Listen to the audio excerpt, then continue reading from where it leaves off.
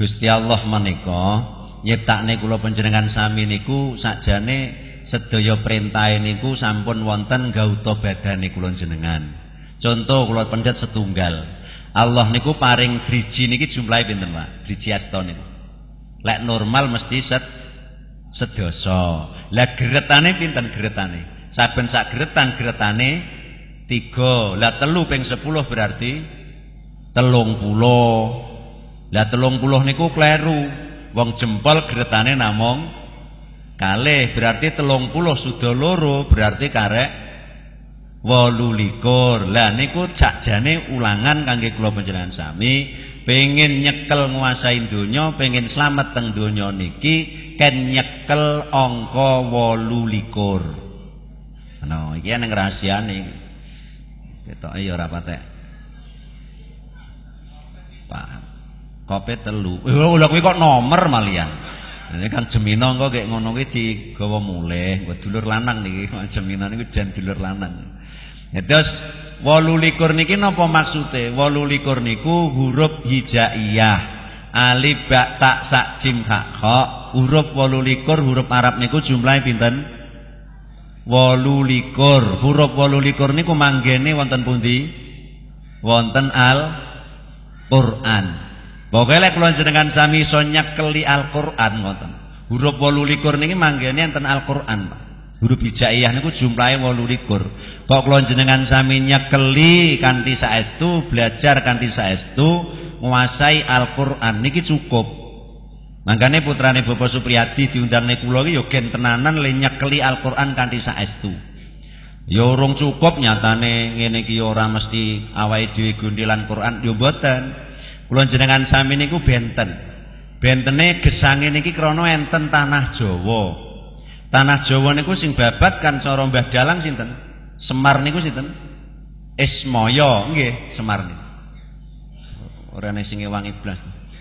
Nggih ngono waseme. Isma Maya sing numbali tanah Jawa niku Syekh Subakir termasuk wali aulia ilah, wali paling kathah niku enten Jawa Timur kalih Baghdad. Jadi saliyane niku wali niku mboten kathah.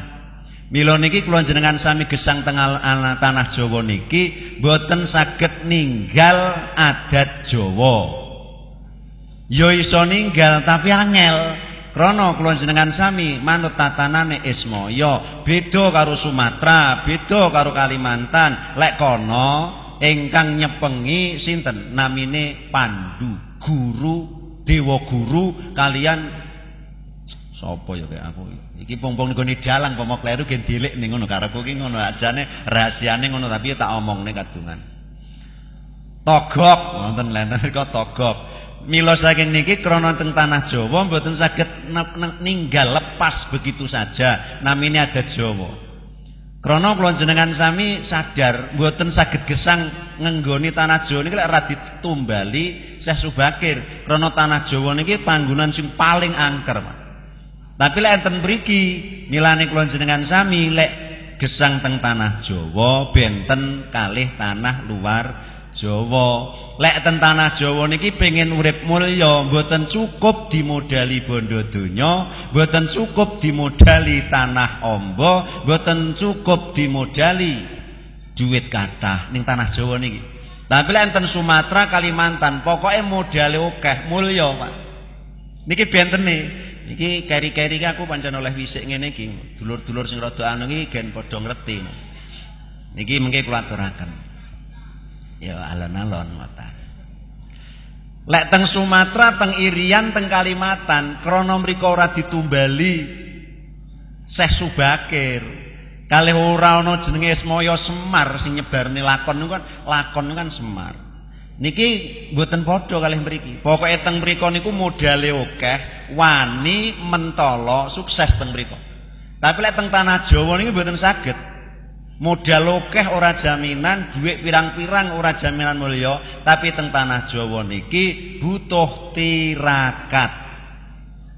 Wang Suli. Kula Wang Suli niki. Teng tanah Jawa niki lek pengen mulya gesange butuh tirakat. Tirakat niku asal kata taroka tinggal barang mubah ben dadi sunah contone jahar niku hukume mubah. Dahar ya monggo boten ya monggo. Tapi iso dadi sunah nalika jenengan tirakat misale poso Senin Kemis. Bukane jenengan dadi sunah sahure dadi sunah niku lho jenenge tirakat niku ninggal mubah dadi sunah.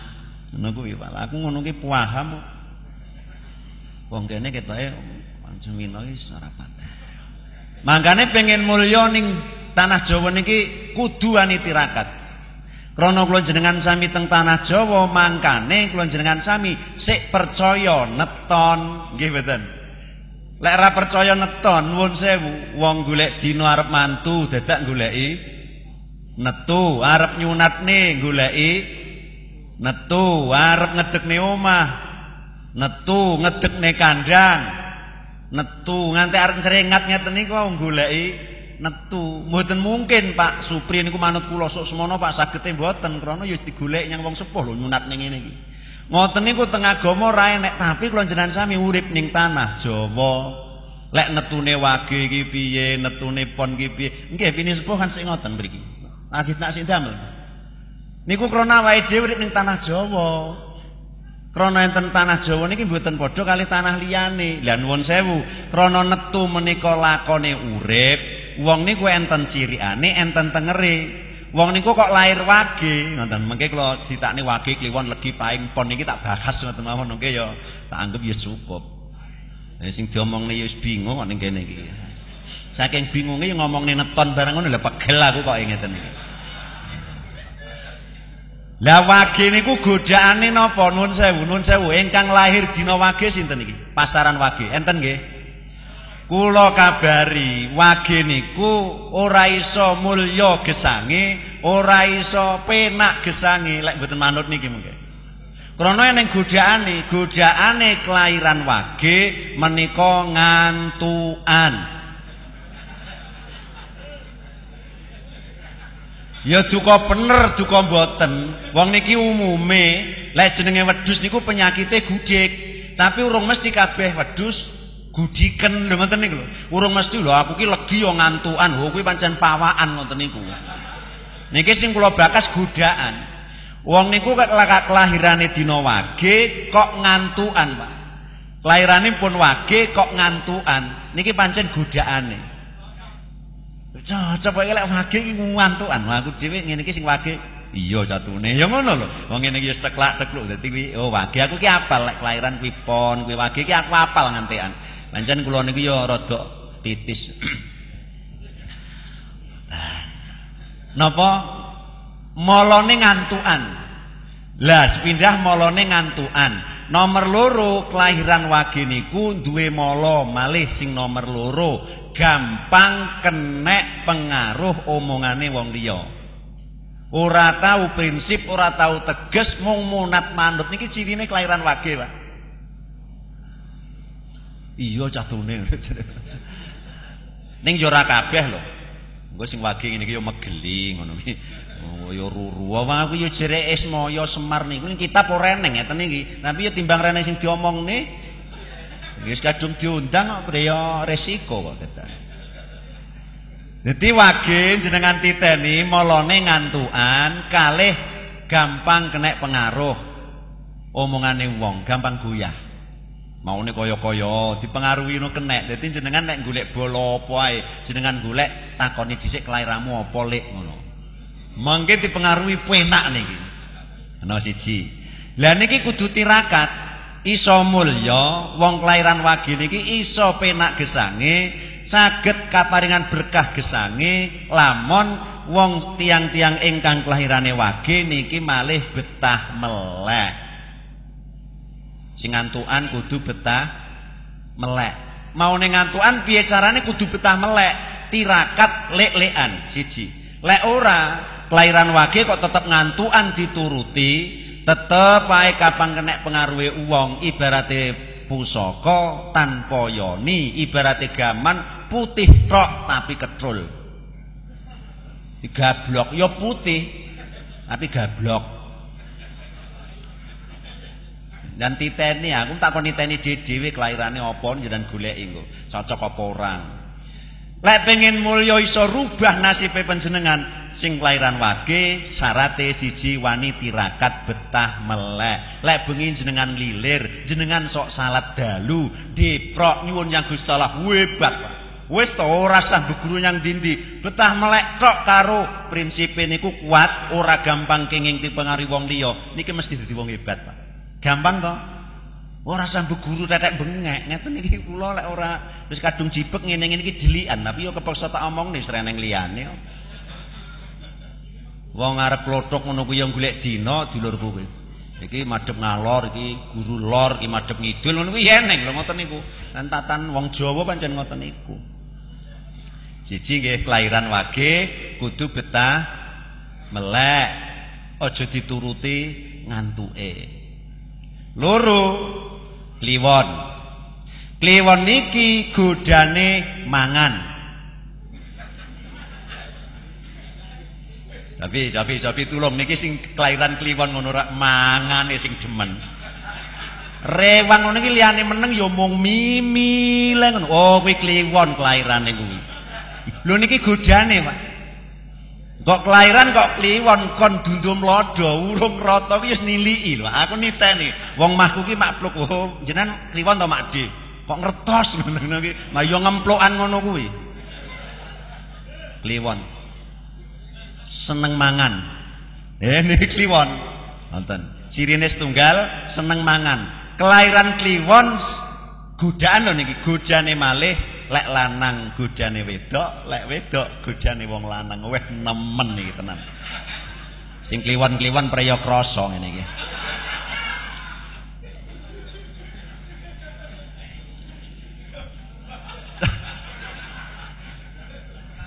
Ya. Ya neng sing krasa satune ya aku kita akoni ya ngono ya neng lho sing ngono kuwi. Lah iki lek ora delikan ora tak omongne tenan iki. Godane niki niki godaan. Panjenengan kelahiran kliwon pengen mulya. Panjenengan kelahiran kliwon niki pengen tentrem ayem berkah gesange napa? Kudu iso ngrubah seneng mangan dadi tirakate kudu wani luwe. Lek dituruti ora bakal mulya Pak kelahiran kliwon niku. Ngoten. Entek dipangan wis. Ingket-ingket mangan tas mintong pengen bakso wis ngono ae lho. Sapi nun sing ngasung kelahiran kliwon iki. Wong jenengan. ya les ngaku. Niki godane luwabot. Mangkane pengen mulya tentrem iso mulya gesange niki nalika panjenengan saged dadi ngrubah seneng mangan dadi ahli tirakat sithik jahare hebat pomo dadi dukun niki iso hebat Pak. Kuat niki mawon. Kuat ngempet kekarepan yang wong wedok lek wedok kuat ngempet. Godaan yang wong lanang. Niki hebat Pak. Lah kok jenenge dukun ora kuat tirakat kelahiran kliwon Pak. Ninggal konoan ya ora jahare ya akeh halah ora mandi sumpah ora mandi aku swani tuan pomo mungguh nimbulono bayi kira-kira mleleng ya suara kedip sak teruse lho niki praya bahaya niki Ya niki kula namung ngelekne mawon gen teliti dhewe-dhewe kelahiranku ngene apa iya ya ngono ken ngono. Lah apa ora lho aku ki ora nyatane. Lah kuwi berarti ora kena godho. Pomon jenengan gesang niku lho ngrekaos, godane jenengan ngoten niku saged ninggal panjenengan insyaallah kaparingan mulya mangke gesange. Ngono. Wage kliwon legi. Legi niki neton legi niku wateke menungso, godaane gampang ngamuk, gampang pegel, gampang ora penak terus nih. Nggih? Kelahiran legi niki wong gampang pegel, gampang ngamuk, gampang ngomel, gampang wis pokoke gampang ora penak kelahiran legi niku. Yo ngapunten iki welek omolone, godane wong lahir legi pancen abot, Pak. Lah jenengan saged mulya, jenengan saged tata, jenengan saged tentrem, luhur nalika panjenengan saged rubah sifat sing kasar dadi kalem, kudune jenengan dadi wong sabar, wong ngalah, wong triman, wong meneng. Wis mesti dadi hebat jenengan. Ora san ngaji bedukun rena-rena, kok kelahiran legi jenengan so saged dados dianggang Pak sabar, ndriman ikhlasan napa wau meneng terus ngalan wis to hebat jenengan Gek niki putrane niki kelahiran napa niki ora neng napa? Paing. Dinane napa? Aku malah kowe berjonggo. Setu paing. Oh minggu lima paing eh pinten minggu niku Bang pinten? Gangsal nggih. Paing songo nggih. Lha ngene aku dikira ngarang ngono kuwi ya di sekolah kok dadane wis syukur dikira syukur jeplak kok Berarti lima eh lima kali songo berarti 14. Kula ora bicara dina, lek dina umum ngendi nggih dina. Niki kan ngomongne wong Jawa. Wong Jawa kelahiran Paing, wage kliwon legi Paing. Paing niku godane maksiat. Ngapunten Mbak nggih Bu. Dadi ngatos-atos putra jenengan ganteng iki godaane abot nggih maksiat. Ngatos-atos Bu nggih. Serata terus nih wong iki sing disunati ora tak omong nih. Ya ngati-ati aku preyo malih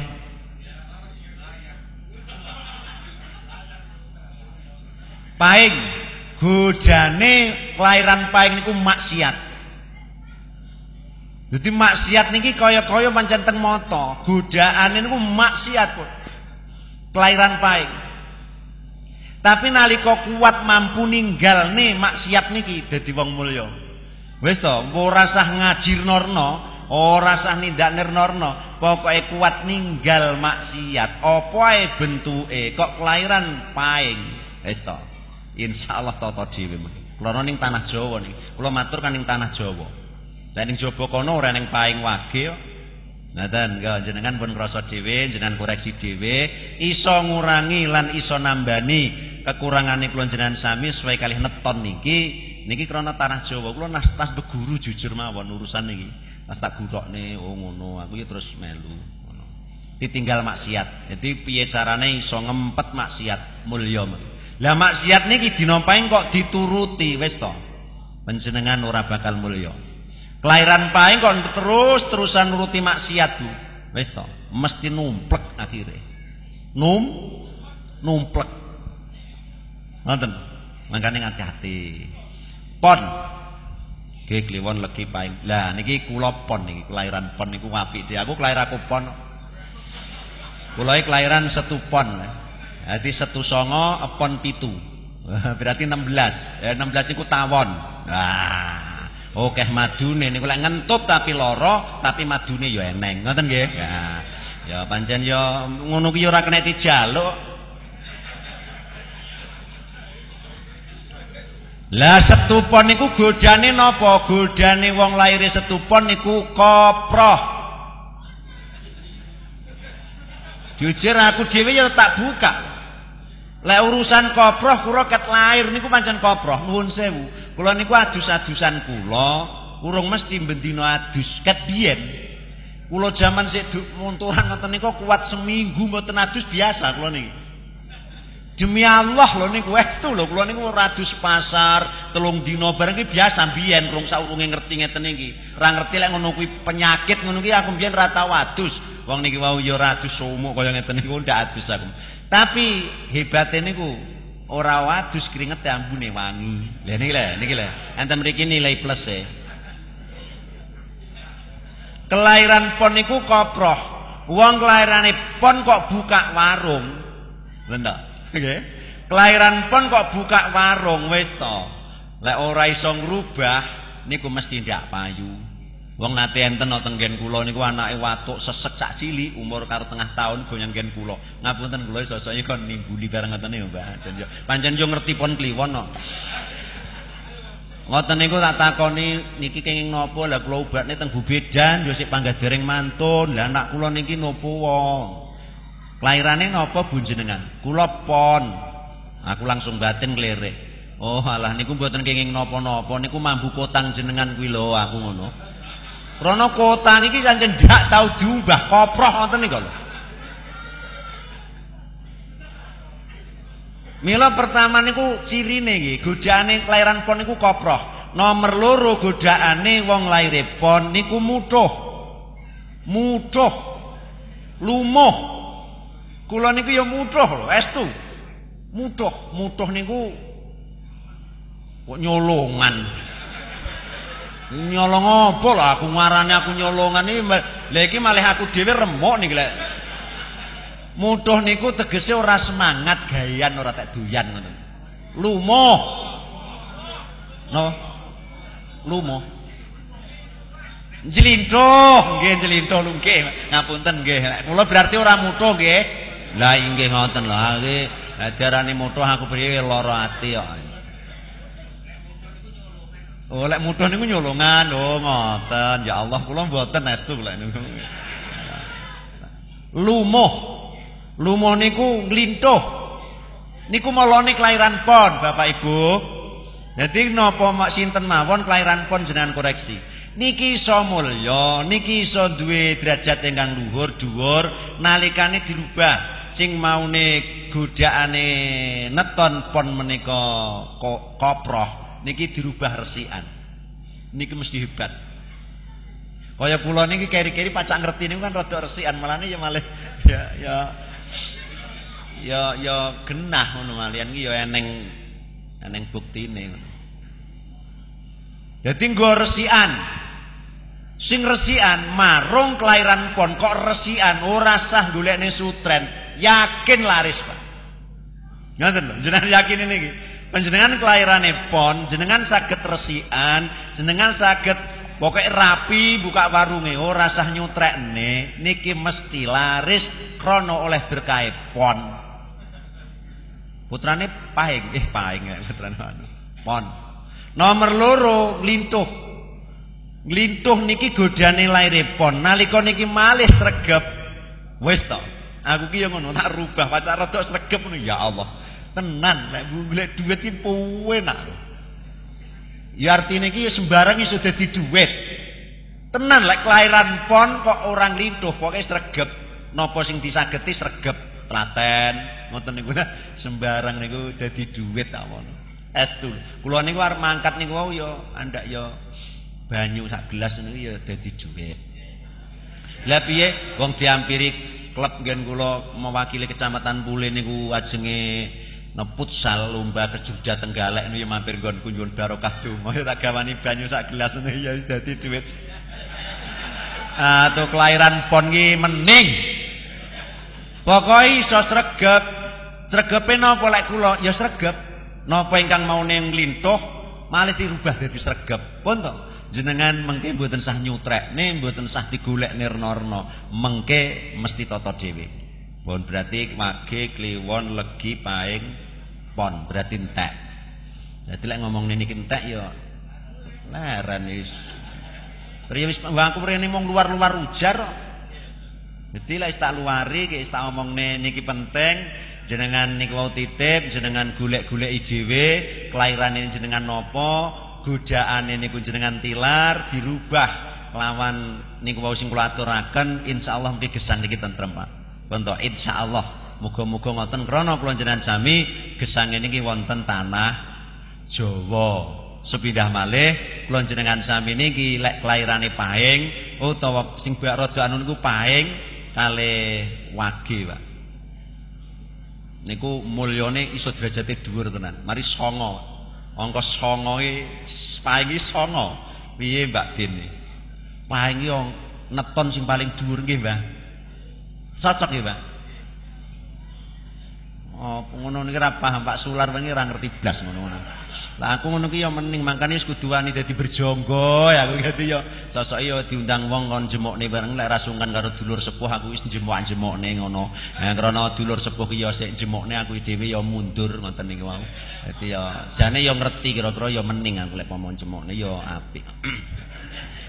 Para bapak saha para rawuh ingkang kawula mulyakaken sing penting panjenengan sami paing iso mulya napa ingkang wage niku wau gojakane napa legi sakandane sedaya meh sami. Nek legi niku pokoke sabar, nriman, ngalahan, meneng. Aja sampai ragus molone wong lairan legi niku rada ragus. Apa rakus yang bondo, apa rakus yang warisan, apa rakus apa wae wis to. Jabatan saandane. Wong ning tanah Jawa niki lek dipaiti rakus mesti numplek. Jenengan titeni. Tapi lek nyang luar Jawa kono pokok ndek modal akeh wis to mulya jenengan. Tapi lain tanah Jawa krana oleh sabdane Syekh Subakir, kelahiran kok legi, kok rakus, numplek.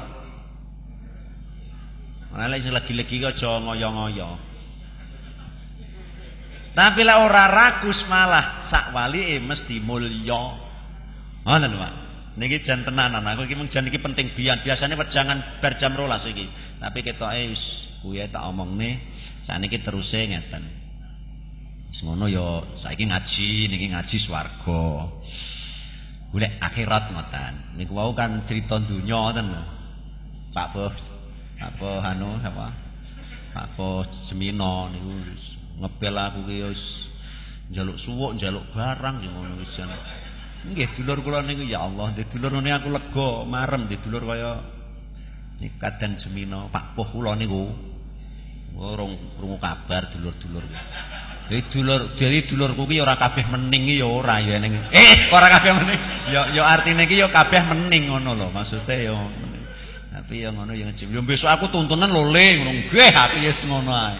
Tapi besok ya monggo bareng-bareng. Nah niki kula kemutan mboten kathah meling kula. Telu niki mawon.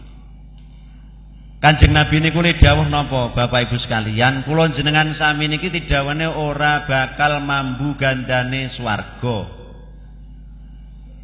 Ora bakal mambu gandane swarga. Sinten wong telu sing ora bakal mambu gandane swarga? Gandane swarga niku dawuh Kanjeng Nabi ora seharap ora patek apal. Ya apal aja Nabi aku ki isin rene iki. Kok saya pasah engko dirasani ngono lah. Kowe lek dirasani ngono tilem ngono isin aku kok. perjalanan dawe kanjeng Nabi seribu tahun perjalanan itu pun mambu lek seteko dino kiamat seribu tahun perjalanan itu pun mambu gandane swarga saking wangine lah sewu tahun niku pomo melampah tindak jenengan sedina duki pundi Ponorogo lek rong dino teko ngendi jenengan banding nih lek sewu tahun melaku kira-kira teko ngendi adoe perjalanan sewu tahun swarga niki pun gondo Tapi wong telu niki ora bakal mambu gandane swarga. Mambu niku mawon boten. Lan jenengan tidak peken ngoten niku lek langkung warung sate, jenengan mambu gondone napa? Gondo sate, jenengan mesti mlebu? Lho mboten. Mambu swarga niku ora iso mesti mlebu lho.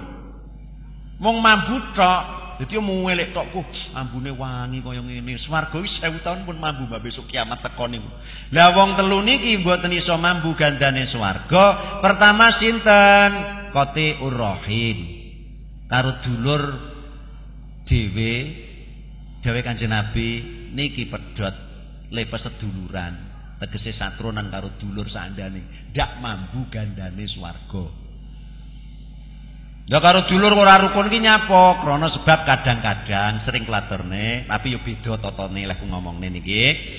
Krana sebab kadang-kadang dulur nom karo dulur sepuh ngoten iki ra rukun mung bet-bote warisan. Wong niku sing paling mulya ukuran neton wau ikhlas, Pak. Pomo kula jenengan sami duwe dulur papat, barepe lembagai rada amba, liyane kudu ikhlas. Lek dule dulur papat sing barepe lengai bapake niku lho cara dundum kok rada amba dhewe, liyane aja muring-muring, kudu ikhlas. Lah nyapa dulur barep niki ling rekoso luwih abot. Krana dulur barep niku biasane ya ngopeni adine, ditinggal bapake ya momong, Mbak Ayune ngoten nika. Nggih mboten oleh jajan ya tingehne adine. Engko lek adine nangis ngono ki momong ya melu nangis. Ngoyon apa mboten? Mangkane niki nuwun sewu dulur-dulur sing dhe dulur lanang sing barep kok dinge luwih akeh dulur liyane kudu ikhlas. Krana rebut urusan waris ora marai penak. Aku lek ngene iki jan kaya rata-rata rebutan waris niku ndaran ya ora penak. Wong enten gen kula niku rebutan namung sawah sekedok dulur lanang loro niku sing sitok lengge ngurusi niku entek rong kedok sing sitok entek rong kedok padahal rebutan lemah sek Kedok giragat entek rong nambah. Ngalah oh, gen mulya uripe ning lho aja rebutan waris. Es aku lek ora dulur ora meleng tenan iki, tenan. Mari-mari ora penak. Lek mengke kebetulan anak ragil kok dikacei liyane ya aja mari. Anak ragil biasanya kan manggon ke Prabon, dikai omahe, dikai bumine. Liyane aja sampai meri krasa gelo ning ati, marai ora penak gesang niki. Kudu ikhlas. Lah nyapa anak ragil niku sorone luweh nemen. Pomo dikacei dingai omah kuwi ya wajar. Lah nemen piye? Lah piye anak ragil jan tempo. Mulai sik bayi lahir cengar lho grita ya wis lusuran. Popok ya lu. Nggih mboten lek anak nggih Mbah nggih. Nggih lho wis pokoke kemben lusuran. Nggih ngono kuwi ngantek mimike. Lusuran wis ngantek nggon kuwi anak wis sepuh. Ki anake limo sing cilik dhewe iki kopeke setat tetot wis ana gisine. Kira-kira wis ana vitamine blas lho Mangkane sorone anak ragil niku ya kaya ngoten. Mangkane lek anak ragil kok nyang wong tuwa dipasrai dadi nampa-nampa keprabon, liyane dulur tulung ora sah gelo sing ikhlas. Krana ngoten-ngoten ku dedekne ora penak. Kaya kula niki enenge mung ikhlas karo dulur. Nantek warisan nuwun sewu. Lho warisan kombo ora ning sing garap. Rono tingehne kabeh ora ning sing ngarep kok. Mari digarap ya ora metu apa-apane ngoten. Lho es tungke. Dadi mbok niku pesen ajeng sedo kurang telung dina ngomongi kula anu. Jaran wesene bapak mbiyen, bapakmu mbiyen lemah sini gajeng, kuwi bagiane anak lanang papat kuwi. Ngono pancen yo meling ngono, lha mbok let telung dina kuwi ninggal. Tak omongi dulur-dulur dulur-dulur yo ora sing gelem garap. Teko saiki yo ora sing garap. Maning dulurku ora sing serakah no ning. Mulane uripe yo kaya arep penak-penak gitu. Duh kok yo ngono. Artinya krono ora metu apa-apane niku kira-kira ki nggone ndulek ngoten. Tak to awakne matur dulur sepuh Pak Depoh Yai. Niki sitine king mbok tidol napa? Liya dolen payu pira ngono lho, ki tuku-tuku rokok ya ngono. Kabeh dianu jape ngono ngantek saiki ora kegarap, ora rebutan blas. Niku nyang Gusti ternyata rezekine sing kathah mboten king warisan, king jabane Maris, makane karo dulur, kula jenengan sami aja sampe ora rukun mung gara-gara urusan waris niki mesti mengke ngalami gesang niki mboten penak rezekine. Ngaten siji. Nomor loro sing mboten bakal mambu gandane swarga napa akhun li walidai. Akhun nglarakne walidai wong tuwa loro. Anak kok wis wani nglarakne atine wong tuwa, niki besok ora bakal mambu gandane suwarga. Eleko gobloko genjengo wong tuwa niku wajib dihormati, disenengne atine lek pengen su. Kita wis ngantuk kabeh. Lek ngantuk ya leren aku luwih ngantuk ngene iki. Langsung lagi ya. Karena wong tua niku malati wis to Sunan Kalijaga niku lho dongane ampuh, tapi sik luweh ampuh dongane wong tua, Pak. Eleko wong tua gobloko wong tua mendowo wong tua genjengo ibarato niku dongane sik luweh ampuh dibandingne dongane para wali. Mangkane jok pisan-pisan nglarani atine wong tua. Dulur pengen gesange mulya pisan malih kula peseni mpun ngantos nglarani penggalihe wong tuane awake dhewe. Malati saestu. Lek sik gesang sik sugeng nggo disenengne atine, lek pun sedo nggo didongakne, penak. Kula niku mung niku lho juruse karo wong wedok kapan rada sepi no. Mak, gelem pitik. Damen apa? Ya engko nyeluk tangga-tangga kirim donga aku. Ngono ki sesuk langsung dijoli ya debel jen ya Allah. Aku percaya ngono kuwi. Ngene-ngene kan ya sing wis tak lakoni tak atur ning ngaten iki. Krana napa nuwun sewu, nuwun sewu niki cerita ae. Zaman Rasulullah menika kan wonten namine ngakomah. Ngaen kop mim tak bundel ngakomah.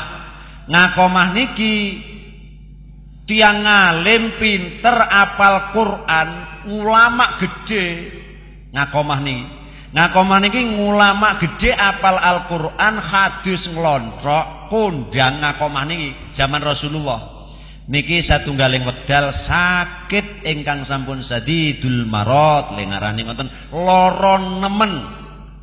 Mpun meh sekarat pati tapi nalika wekdal niku sahabat liyane iki Rasulullah kok urung eneng so, tindak kene wong ngakomah lara kaya ngene apa ora pirsa yo jajal ngali kabarono dikabari Ya Rasul, sahabate jenengan ingkang setunggal niki gerah sangat. Lho sapa? Ngakoma, gerah apa pun dangu anggenipun gerah niku antawis dosa dinten. Niki wekdal sanget ya Rasul. Gek niki kula rada kuatos ngakomah niku namung mendel celometan mboten genah. Padahal niku apal Quran lho nggih. Apal Quran 30 juz. Mriyo hebat to punah.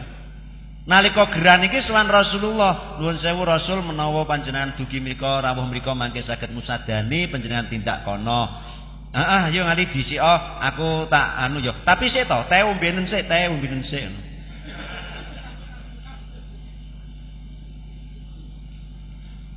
Umbi teh yo budal teh ngali nggih. Akhire ngali dhisik disusul Kanjeng Nabi.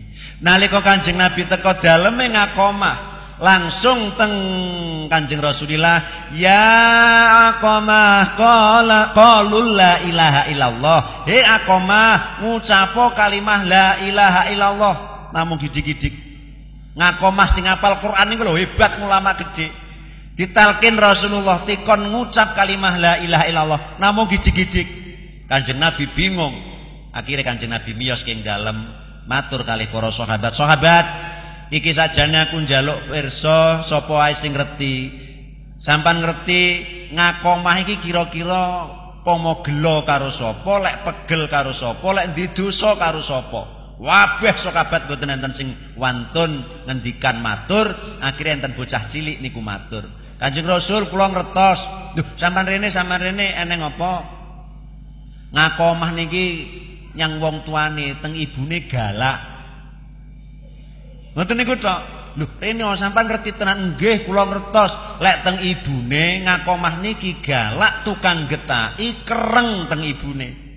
Masya Allah Kanjeng Nabi akhirnya. Oh, oh ya matur suwun le. Nggih Kanjeng Nabi. Ngali saiki budal rono omongno ibune ngakomah kon rene ngomong lek aku sing nimbali saestu ngali tenggene ibune ngakomah daleme mboten tebih teng pinggiran ngoten wis ora critakne Pokoke enten mriku ya cedhek sawo ngono lah. Ora sah ora ora nek ora nek kene cedhek pokoke. Wong ketawis daleme ibune kali ngakoman enten kados niku ketawis. Akhire ngali Assalamualaikum. Waalaikumsalam. Monggo. Nggih. Pinarak nak nggih. Sampean iki sapa? Ibune ngakoman. Kula ngali Mbah Oh alah ngali tembel ban ning sawo kuwi to. Lho sanes. Sanes, Mbah, sanes. Lah ngali sapa? Kula niki ngali karamallahu wajah nika lho. Mantune Kanjeng Rasul, Kanjeng Nabi. Oh, Raden ngali. Nggih, Mbah. Ana apa, Den? Jenengan tebih-tebih kok mriki kok pakat dengaren. Saya ya den ya tak tinggal nyamburi dhisik, akhirnya diduni teh. Ayo nak ngali diunjuk. Nggih.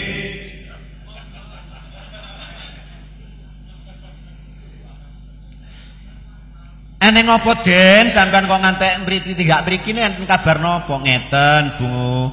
Niki kula diutus Kanjeng Rasul. Kula ngabari panjenengan bilih ngakomah putrane jenengan saat menika gerah sanget. Panjenengan dening Rasul kasuwun tindak mriku dateng griyane ngakomah. Napa den? Panjenengan ken tindak ngene putrane jenengan ngakomah. Ora! Ora sudi! Cara kene ngoten. Lha wonten Bu? Jenengan ora ngerti to ngali. Ngantek nyang ngali ngantek jangkar-jangkar ngoten saking pegele Pak. Emosi. Lha wonten napa Bu? Ngakomah ki cilik tak gedekne sekolah goblok tak sekolahne tak pondokne nganti apal Quran. Eh tibake cilik tak gedekne goblok tak pinterne ngantek gawe omah karepku ngono. Bapak isik krana omahe elek tak rewangi bangun omah ngumpuk boto kira-kira separuh bapak ninggal. Kula isin loke tangga nggih omah ora tutuk. Arep tak tutukne apa tak generusne ora ning duit. Tak rewangi buruh-buruh. Ngali akhirnya omah pun dadi ya karep kula ngoten. Anak kula namung setunggal ngakomah niku bocah pinter bocah ngalim ya ganteng ya dhewe wayah rabi tak golekne bojo lho bareng tak golekne bojo den. Ngalini ku eh napa? Ngakomah galak teng kula. Kula teng griya kula piyambak kula ken nyuci piring kon nyuci gelas cukup ngoten kula ken nyumbah-umbah-umbah sandangane bojone den. Kula niki kaya babu kaya buruh enten kene anak kula dhewe akhirnya dangu-dangu kula mboten betah krana akhirnya kula ditundung minggat den. Terngako mah ditundung minggat akhirnya kula damel griya alit niki lho den. Kula niki wong kok kaya arep petruan ngene terus kula niki wong tuwek pun rene ngajine kula niki ditundung minggat akhirnya kula lumpuk-lumpuk ning kene kula gawe omah cilik niki. Lah sing niki sinten Mbah? Jenengan kok iso gawe omah? Kula niki lek aja dibantu kayu yang Pak Lurah Jito ki ora iso gawe omah. Disumbang disumbang kula gawe omah saanane niki. Mboten den kula kon rono moh. Jenengan matur Kanjeng Nabi kula moh. Wis ora ngakoni jenenge anak kula ngakomah nalika mpun lara nemen kaya ngoten Pak apal Quran ibadah hebat gara-gara mung galak nyang ibune. Ngeten iki lara nemen nyawane metu ora mlebu ora ya mutu walayah ya ora urip ora mati. Megap-megap. Masyaallah ngalim tiyang mangkane rada ngalim ukur-ukur ki aja kemlinti lek mati ya iso ngono kuwi lho tenan. Ojo bangga nih kulon jenengan sami ojo antek bangga nih apa ingkang kulon jenengan sami saged. Ternyata naliko sahibate nopo kulon jenengan sami kok wani nglarak nih atine wong tua niki cilaka donya ngantos cilaka dugi akhirat. Akhirnya ngali kondur matur kanjeng Nabi ya Rasul. Oh wis mulai ngali sampun kanjeng. Lah pundi? Endi? Ibune ngakomah? Ngapunten kanjeng Rasul. Sajake pancen ibune ngakomah gelane sampun sanget sakite sampun sanget. Lho lara piye? Lara ati ya rasul. Lah nyapa? Krana nurut critane ibune ngakomah.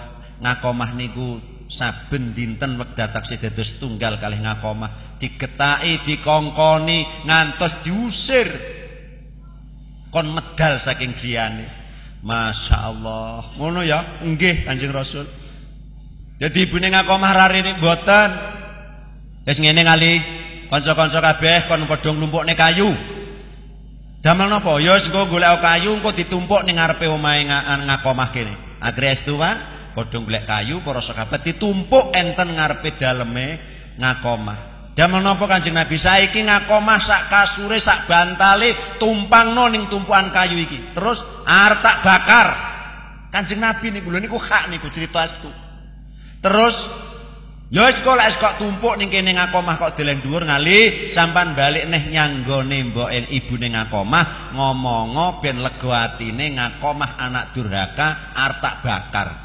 Krana daleme cedhek, engko ora sah rene kon nyawang kon metu kok daleme ibune ngakomah kon nyawang tak bakar. Astu Pak. Oh nggih Kanjeng Nabi budal malih tenggene ibune ngakomah. Sareng pun dikira assalamualaikum. Salam. Lho kok wangsul iki malih teng napa? Kula wau diutus Kanjeng Nabi, kula mboten kersa, mboten purun, kula moh lek tenggene ngakomah. Niki mboten lho Bu, panjenengan cekap medal saking dalem. Nggo jenengan presani nika.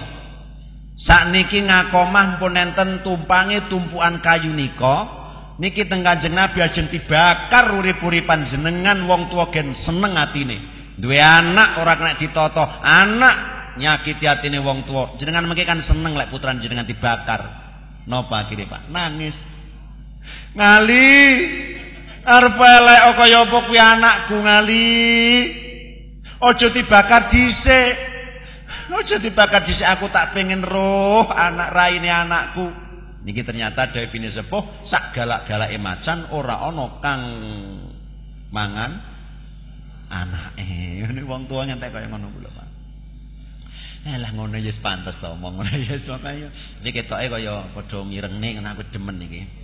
Ari ya cerita. Dua akhire nopo? Boten ngali, pokoke kula ajeng pengen ngerti mpun kesusun jenengan jenengan pulsane tasih nopo boten ngali. Mboten ngenten HP lho, Mbah. Lek isik belen Kanjeng Nabi pengen ngobong riyin. Boten-boten lek ngoten dos pundi, Mbah? Ngali kula jenengan terne mriku kula tak ngerti wajahe raine anak kula. Monggo-monggo diderekne. Dugi mriku, ya Rasul. Nyuwun tulung Kanjeng Nabi anak kula ngakoman jenengan andapne. Kula tak pengen ngerti raine anak kula saderenge dibakar ngali. Estu Mbah? Nggih. Akhire diandapne king tumpuan kayu, nalika diandapne ditubruk teng ibune. Ibune kan nyebut, "Walah nak, Sampai urip karo aku cilik tak gedhekne goblok tak pinterne ora ndek bojo tak golekake. Tapi akhirnya sampean kaya mentolo nyang ibu to, Nak. Ibumu sing wis kaya ngene kok tundung minggat. Tapi wis to nak. Arep kaya napa rasane wong tua sampean tetep anakku. Lek sampean pancen wis arep kapundhut, muga-muga sampean di ngapura dosane ya nak ya. Aku ikhlas sampean mati. Akhire ngalih ngadeg teng Kanjeng Nabi genten dibisiki ya aqamah. Qul la ilaha illallah. Ngakomah ngucap la ilaha illallah dengan lancarnya. Ngakomah ngucap la ilaha illallah. Mripate melek nyang Kanjeng Nabi diremne inna lillahi wa inna ilaihi rajiun. Mung oleh pangampunane wong tuwa mati sedone husnul kha mangkane jok pisan-pisan awake dhewe niku nglarani atine wong tuwa tenan aku Aku ki mbiyen yo tau nglarani atine wong tuwa ki getun ku kaya ra umum. Lah piye Pak, wong tuwa kula pun mboten enten jenengan misale ngoten. Aku mbiyen tau nukari wong tuaku, tau nglarani atine wong tuaku, tapi wong tuwa kula pun mboten enten. Ngeten iki dos pundi?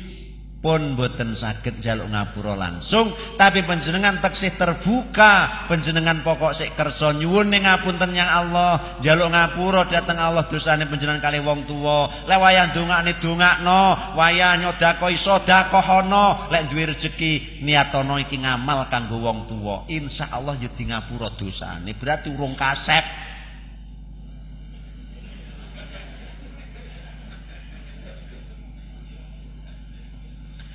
Mane lek wong-wong iki sosok gumun aku.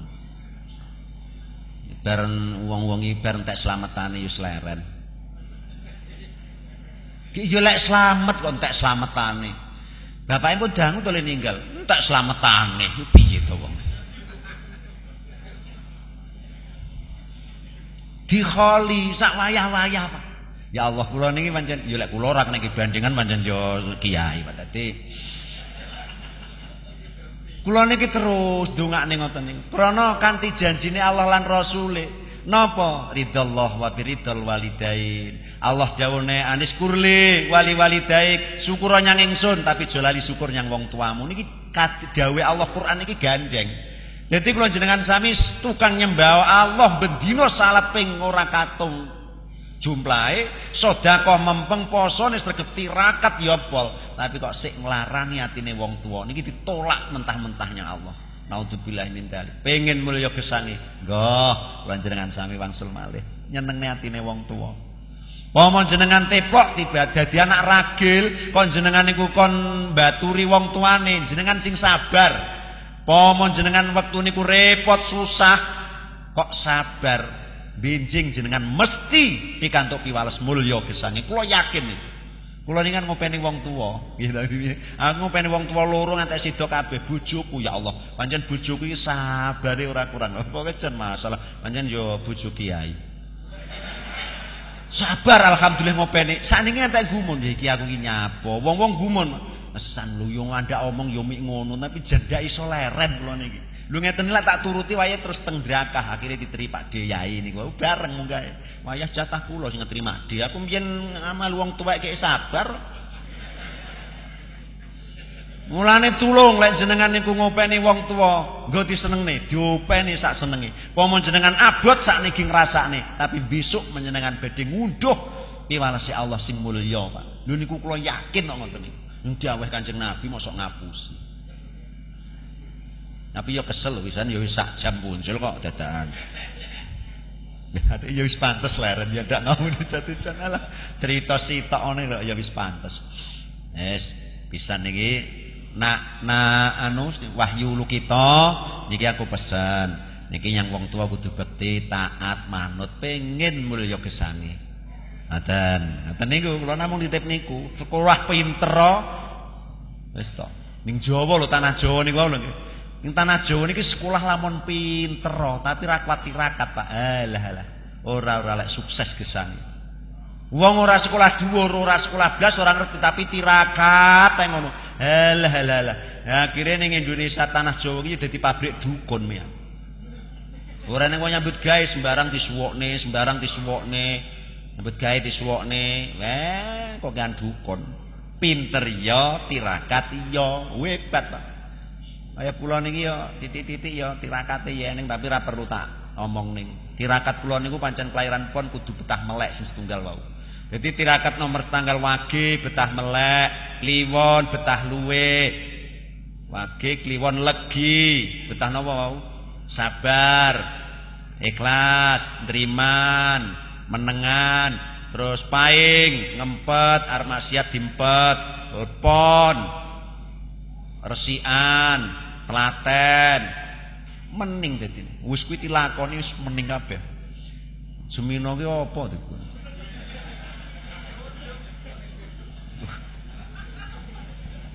Lah dulurku dhewe nyapa dulur lanang kok niku.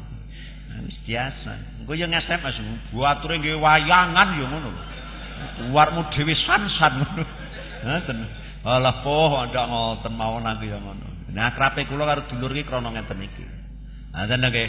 Mangkane semidah malih, wangsul malih kula jenengan sami niku teng wong tuwa. Nomor 3 sing botel boten bakal mambu gandane swarga sinten? Kan telu. Setunggal karo dulur satron pegelan ngantek musuhan kok karo dulur. Naudzubillah. Wis to ora bakal mulya gesang donya ngantek tep akhirat, Pak. Ora mampu gandane swarga. Loro larani atine wong tuwa. Telu sinten? Mani zakat. Mani zakat niku sinten? Wong mlecing. Tiang ingkang boten kersa zakat. Napa zakat mal, napa zakat fitrah. Utawa penae disimpulne wong mlecing. Krana wong mlecing niku ora bakal anu kabul. Wingi tak atur ning krono. Lek pengen dongane jenengan pengen kabul, sakha luman. Krana la waliya ila bisakha ora ana wali sing mlecing, ora ning kabeh luman. Krana luman iki bait napa? Qaribun minallah. Wong luman cedhek Gusti Allah. Dadi wong luman niku njaluk dan dikai. Jadi kula niki insyaallah insyaallah lho mboten mboten kok kula anu lho. Aku sing wis lho sing wis-wis. Rumah saku ki ya mbuh krana dongaku apa-apa ki ya rumah saku ya ya gampang kabel. Mara aku ya tungane ya rada orang nemen-nemen ramplecing.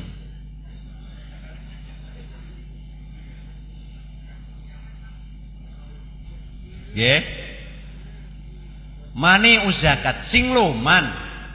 Wong niku lek mlecing, ngantek mlecinge niku krana wis bondone akeh mestine wis wajib zakat, gah lan moh zakati bondo donyane. Niki masyaallah Pak. Niki estu mboten mambu gandane swarga. Mambu mawon mak mboten napa malih mlebu. Yo Pak, sinten? Pak Supriyadi luman tenan iki. Wong akeh kok ngundang kaya ngene iki syuting, priye akeh ragate. Dan iki nyukuri krana biyen nate kagungan unek-unek nyukuri lek paringi rezeki kathah, diparing lancar, selamat disyukuri. Lho ora kok terus bar ngene iki malih mboten. Bar disyukuri niku janjine Allah malah tambah mengke. Mungkin malah ngene iki diedrek. Mulai diedrek ngono dikira Supriyadi kok ngingu setan kok ngono jenengan. Lho krana berkah syukurnya Allah niki. Karena wong luman niku qaribun minallah wa qaribun minan nas wa qaribun minal jannah. Wong niku cedhek karo Allah, krana cedhek karo Allah donga ya gampang kabul. Qaribun minan nas cedhek karo dulur-dulur tangga teparo ya cedhek lek luman niku. Ya celek mlecing. Belas ora tau nekakne dulur ngono. Belas pokoke ora apa-apa. Ya utuh, tapi ora tambah. Ya mung kuwi. Jangan titen wong sing ra gelem ngene-ngene iki. Alah. Ya utuh ora dikalong yang wong tapi ora tambah. Ya mung kuwi-kuwi ngono duwene. Piye? Pengen sugih ya sing nyak-nyoh-nyak.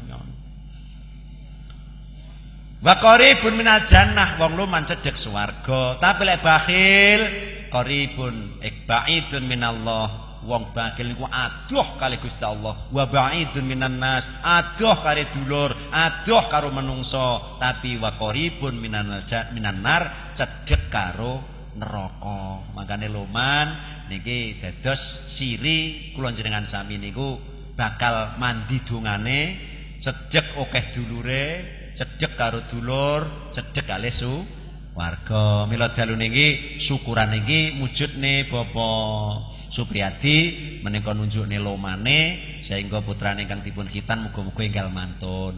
Ing tembe dados putra ingkang pinter, ingkang cerdas, pilujeng, lebih saking musibah saha fitnah, mulya kranten pikantuk ridho pangayuman lan bimbingane Allah sehingga dados putra ingkang migunani tumrap tiyang sepakalipun, tumrap bangsa lan negarinipun, ugi agaminipun simpule dados putra ingkang manfaat maslahah wonten donya ngantos benjang wonten ing yaumul akhirah.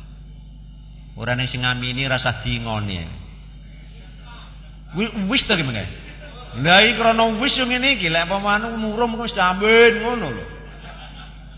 Ngaten ya.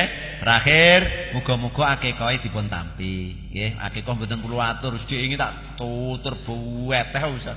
Ya tak omong neh Pak Sular kaya segeh Ustaz.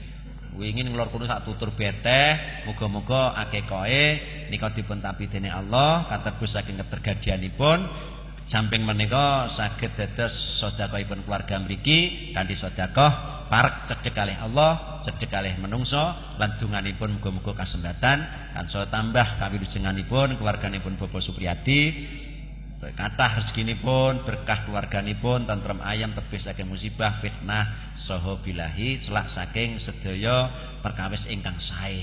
Allahumma amin. Maten mawon Pak. Nanti kesel ya.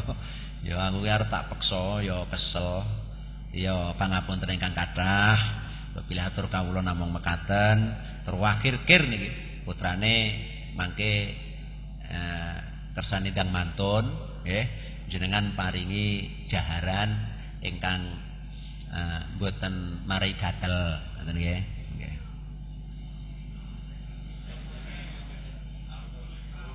Lha ketoke kaya ora patek percaya wong oleh ngumumne kaya ngono iso. Kaya nyepelek. Ya mantun sabar nggih. Pun ngoten mawon lah. Engko lekas neh aku golek dipancing-pancing lekas neh lho. Timbang lekas neh pun ngoten mawon. Mbok kita tutup kanthi wasan doa. Doaipun menika mpun kula lah. Dah boten. Sapa tembah ini jenengan Pak Din? Bapak Sular. Pancen donga niku salasun dakwatul mustajabah. Ngaten ta? Donga niku sing paling gampang kabul dungane wong telu. Nah, iki sing masuk sapa mengki kula kan donga.